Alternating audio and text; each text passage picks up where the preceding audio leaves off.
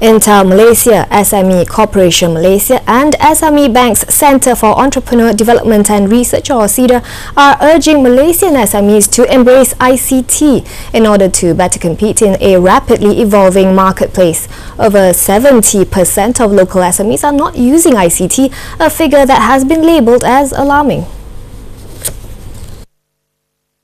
645,000 odd entrepreneurs, 70 plus 5% or even 60% have not used IT.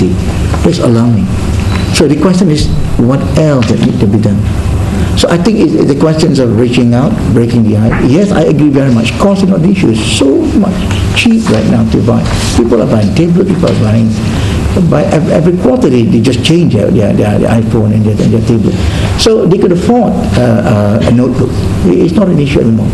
Dr. Sheikh Ghazali says CEDAR, in collaboration with Intel Malaysia, wants to encourage SMEs to move away from manual processes to adopting automation in their operations.